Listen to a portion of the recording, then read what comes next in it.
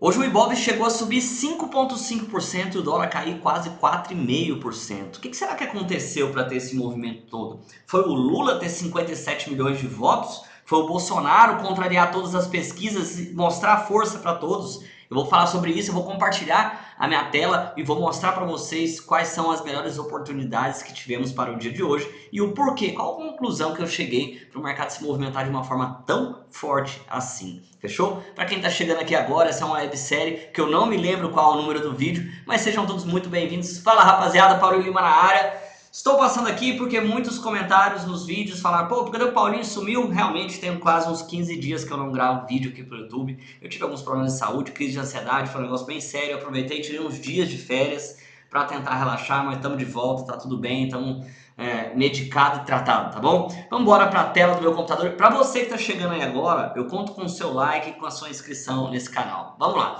É, a primeira coisa que eu preciso mostrar para vocês é o seguinte: o Ibov uh, no dia de hoje teve uma força muito grande e muito expressiva, tá? A gente tem uma alta aí que está aqui no cantinho de 5,54% e a gente não vê movimentações tão fortes assim para nossa bolsa aqui desde a época da pandemia, onde a gente tinha ali movimentações de 9% de alta num dia, 5% de queda no outro, né? Até antes disso. Mas não é o caso, não é o reflexo disso daqui hoje. Aquilo lá era uma crise, é, enfim. Hoje era algo que estava projetado para acontecer. Ou seja, todo mundo sabia que depois da eleição a gente ia ter uma movimentação mais forte, mais brusca, tá? O que ninguém esperava é que esse BOV ia subir com a força que subiu hoje e esse cara aqui, que é o dólar, iria cair com a força que ele caiu hoje. E eu vou te mostrar também no vídeo uh, o porquê que as pessoas que me seguem há mais tempo ou me acompanham em outras redes sociais sabem muito bem que eu estava vendida aqui nessa região. Existe uma lógica, existe um motivo para isso que é exatamente o que eu vou fazer vocês pensarem no vídeo de hoje com um único objetivo: ganhar dinheiro com o mercado financeiro de uma vez, ganhar dinheiro com o mercado financeiro de uma vez por todas, galera. Existe uma lógica para fazer isso daqui, que é justamente o que? Você precisa entender que quando a gente fala de trade, de day trade, de swing trade, seja lá o que for, quando a gente fala de negócios, a gente precisa equalizar risco e retorno. É por isso que existe está aqui na sua tela esses dois retângulos aqui, esse maior aqui e esse menor achatado, tá bom? O que, que esses retângulos aqui eles representam? Basicamente, quando eu olho para o mercado, basicamente quando eu olho para o gráfico, eu quero entender o que, que é a historinha que ele está tentando me contar.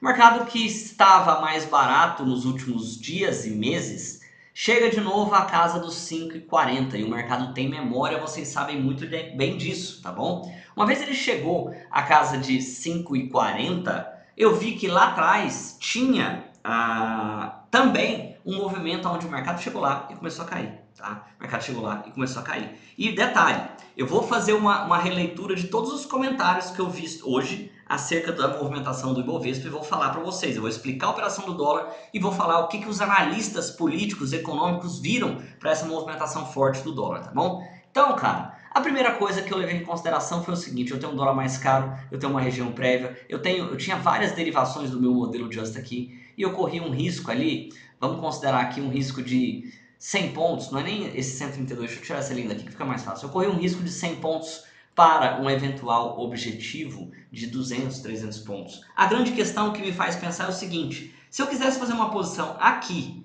e ela fosse comprada, presta atenção nesses dois retângulos que estão na sua frente. Esses dois retângulos eles refletem justamente o seguinte: se eu compro essa região aqui, graficamente falando, o que preconiza a análise técnica, a escola de análise técnica, eu teria que botar um stop lá embaixo. Então, eu precisaria que o mercado viesse muito forte, talvez chegar próximo ali a 5,70, 5,80 para que eu conseguisse ganhar dinheiro. Em contrapartida, aqui eu tinha um risco menor, tá? E um retorno muito mais agradável, muito mais tranquilo. É óbvio que eu não sabia que esse movimento ia acontecer. É simplesmente uma equalização de risco e retorno. Quanto que eu posso perder e quanto que eu posso ganhar.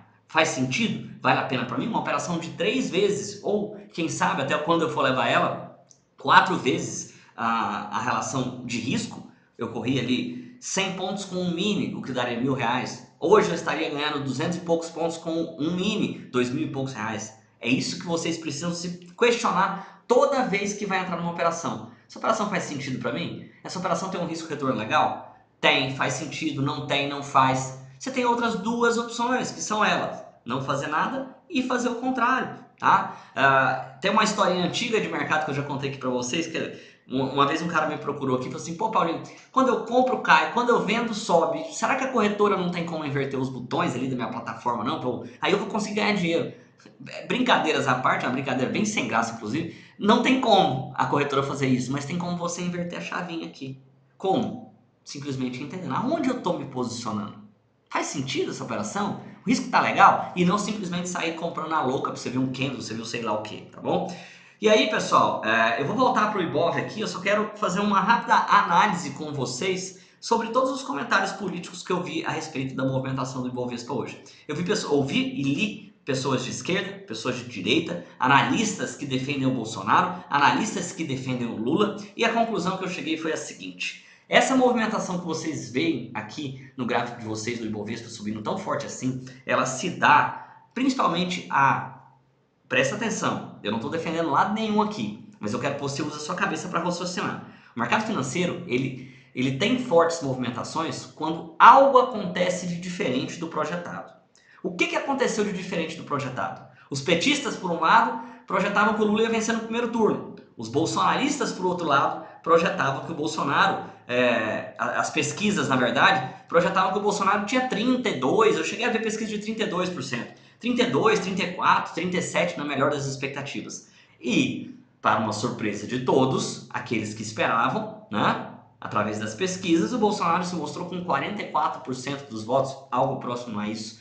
Me perdoe aí o erro, tá? O Datafolha errou, também posso errar. E o Lula, mesmo com 48% dos votos, desanimou os petistas ali, porque eles achavam que iam ganhar no primeiro turno.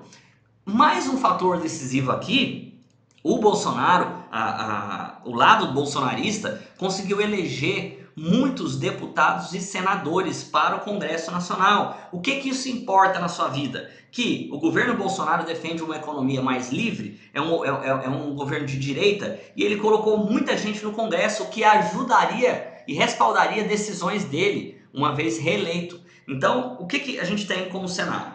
O Bolsonaro mostrando força ante as pesquisas, uma Câmara e um Senado muito a favor e pró-Bolsonaro. Se ele for eleito, vai ser muito mais fácil governar do que eventualmente o Lula. Se o Lula for eleito, ele vai ter mais embate com o Congresso. As coisas que ele quiser fazer, pode ser que tenham mais dificuldade de passar por lá, e aí você já conhece essa novela toda. O que aconteceu, por exemplo, no governo Lula. Ele tinha o Congresso e ele né, conseguia mais facilmente fazer as coisas, se foram boas ou ruins, fazer as coisas com que ele queria uh, no tempo que ele queria, porque os, os deputados dos senados pensavam ou tinham a mesma ideia política que ele. Em contrapartida, o Bolsonaro, quando foi eleito, ele não tinha o Congresso e, e o Senado, ou a Câmara e o Senado junto o que dificultou várias decisões que ele gostaria de fazer. Se você concorda ou não, não interessa. O que interessa é o seguinte: é o jogo que está sendo montado. Feito isso, um candidato mais pró-governo, que tra trabalha com taxas de juros mais baixas e mais atrativas,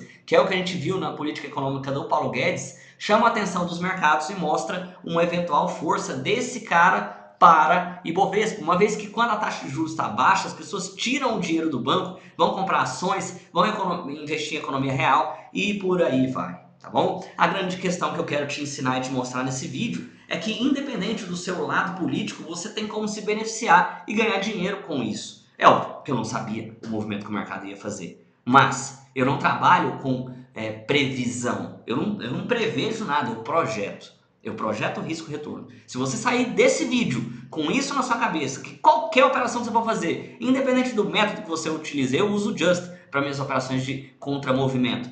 Independente do método que você for executar, se você sempre pautar Faz sentido para mim? O risco retorno vale a pena? Dá uma olhada aqui nesse gráfico. Ó, digamos que você quer fazer uma operação de dólar e você está é, nesse dia aqui, ó. Você está nesse dia aqui. Eu vou apagar esses quadradinhos para não, não ficar confuso. Você está aqui e você resolve assim, cara, eu estou antes da eleição, eu quero fazer uma posição de dólar. Pensando com a maneira que eu acabei de te explicar nesse vídeo, qual operação fazia mais sentido para você? Você comprar aqui eventualmente deixar um stop lá embaixo de 300 pontos, ou que seja, né? Ou você trabalhar uma venda aqui com um stop lá em cima e um objetivo muito maior. Porque a grande verdade, no final das contas, meus amigos, É que a gente não sabe se o Lula vai ser eleito, se o Bolsonaro vai ser eleito, se o mercado vai reagir para cima, para baixo. E lendo engano das pessoas que acham que precisam saber disso para ganhar dinheiro no mercado financeiro. É óbvio que se você tivesse informação, que é praticamente impossível, você sai na frente. Eu falo aqui com pessoas, com meros mortais, eu também. Eu trabalho com risco retorno. Aprendam isso que você não vai talvez ser pego de surpresa com uma movimentação de 4% de queda no dólar hoje, 5% é, de alta no índice, 5.5, quebrou muita gente. Eu recebi muitas mensagens de pessoas que saíram vendendo, deixaram de stopar e toda aquela história que vocês conhecem. Né? Eu mesmo no day trade eu tomei dois stops hoje. É, tomei dois stops. E não me quebrei, não tô triste, não tô com problema nenhum, tá tudo muito tranquilo para mim, tá? É, por quê? Simplesmente faz parte do meu game. Enquanto eu tomei dois stops de um lado, eu desci um, uma caramba de ponto vendido em, em swing, e assim você faz uma mescla e entende que o que vai sair no final das contas é o que? Eu fico pela média. Pela média do que, Paulinho? Pela média de trades que eu, que eu ganho e pela média de trades que eu perco. Aonde eu, onde eu, quando eu perco, eu perco menos. E quando eu ganho, eu ganho mais. O exemplo está aí. É, estamos de volta com os vídeos rotineiros nesse canal. Eu conto com o seu like. Você que está chegando por aí agora, se inscreva nesse canal. Estamos de volta todos os dias. Tem vídeo aqui. Amanhã não, segunda-feira que vem a gente volta com a programação do giro de mercado. Realmente eu dei uma parada que eu precisava dar uma aliviada na minha cabeça. É, precisava dar um, um, uma esparecida, que eu não estava legal, estava numa frequência muito louca de trade, risco e gravando vídeo para cá, enfim. Estamos é, de volta, tudo estabilizado. Valeu demais, deixe seu like, compartilhe esse vídeo com os amigos.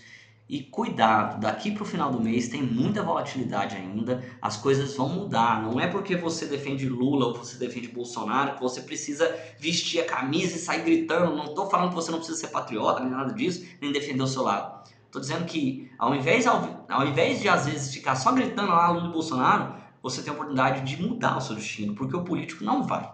O político não vai mudar a sua vida, é você, está na sua mão. Então, veja as eleições e as, esse momento de volatilidade como uma boa oportunidade para você ganhar dinheiro no mercado. Valeu demais, eu te vejo amanhã para mais um vídeo. Tchau!